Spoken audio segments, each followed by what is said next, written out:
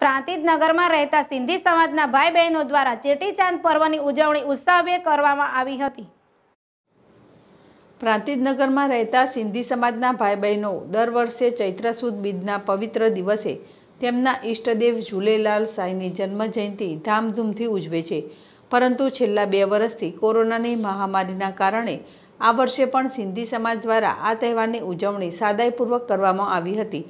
સિંધી સમાજના પ્રમુખ ધરમદાસ ટેકવાણીના જણાવ્યા અનુસાર, ભગવાન ઝૂલેલાલની શોભાયાત્રા તેમજ જલસાનો કાર્યક્રમ રદ કરવામાં આવ્યો હતો. તેમજ ભોજન સમારંભ પણ મોકૂફ રખાયો હતો.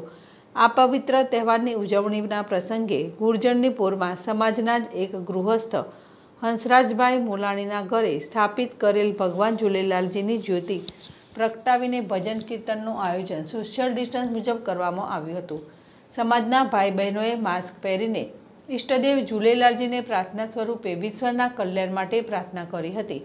વર્તમાન સમયમાં કારો કેર વર્તાતા કોરોનાથી દેશ અને દુનિયાને મુક્ત કરવા આજીજી કરી હતી. ઇતિહાસમાં જણાવ્યા મુજબ, અખંડ ભારતમાં સિંધ પ્રાંતમાં મિરક્ષા બાદશાહે હિન્દુ સમાજના લોકોને ધર્મ પરિવર્તન માટે મજબૂર કરાતા સિંધી સમાજના લોકોએ સિંધુ નદીના કિનારે એકત્રિત થઈને જળ દેવતાની ચાલીસ દિવસ સુધી ઉપાસના કરી હતી. ત્યારે જળમાંથી પ્રગટ થયેલા વરુણદેવ સ્વરૂપ ઈષ્ટદેવ ઝૂલેલાલજીએ પ્રગટ થઈને હિન્દુ સમાજની રક્ષા કરવાની ખાતરી આપી હતી. ત્યારબાદ તેમણે મિરક્ષા બાદશાહને પરાસ્ત કરીને હિન્દુ ધર્મની રક્ષા કરી હતી. ત્યારથી દર વર્ષે ચૈત્ર સુદ બીજના દિવસે ઈષ્ટદેવ ઝૂલેલાલ કે જેઓ ઉંડેરોલાલ દરિયાલાલ તેમજ અમરાલાલના નામે પ્રચલિત છે.